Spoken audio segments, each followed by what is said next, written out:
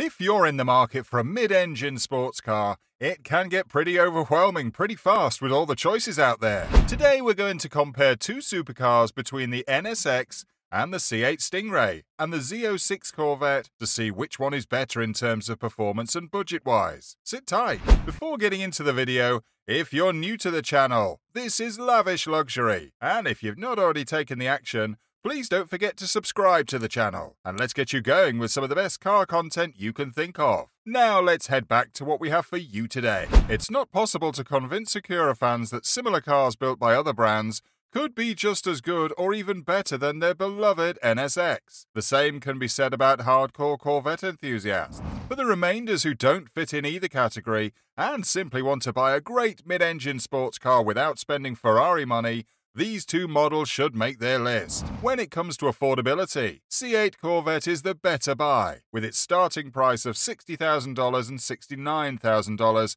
Corvette is much more affordable. Even in top trim with 3LT and Z51 performance packages, a C8 is still around $120,000. Obviously, double the starting price is a heft ask, but a virtually endless combination of available options spans that price range, so it's not difficult to land in the middle. The NSX, on the other hand, starts at a whopping price of almost $160,000 without additional fees and taxes. Add a few optional features and you get close to $200,000 which is Ferrari or Lamborghini territory. However, the NSX comes with a twin turbocharged V6 and electric motors for a total of 573 horsepower. That's enough for a 0 to 60 mile per hour time of 2.7 seconds.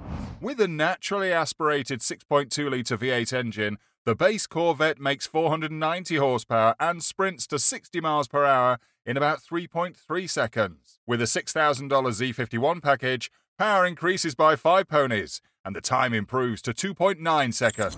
When it comes to performance, both the C8 Corvette and the NSX are very close on just about any racetrack, but the NSX manages to edge out the C8 by a hair in most cases. But overall, the top speed stands around 190 miles per hour for both cars. Another difference is you can take the top off of a C8, which you can't in the NSX. The C8 Corvette comes as a coupe with a removable top that can be tucked away in the back or as a convertible, whereas the NSX is only available as a hardtop. All in all, if you have the NSX in your heart and are set to get it, then by all means make the purchase. But if you want the Corvette C8 and experience the flat plane V8 powerhouse, then make your order and wait for your supercar. In the end, the battle between the C8 Corvette versus NSX really has no losers. Would you go Corvette C8 Stingray, C8 Z06, or would you go NSX, or maybe even a Porsche 911 GT3? Let me know in the comments section. Also, don't forget to like the video and subscribe to the channel,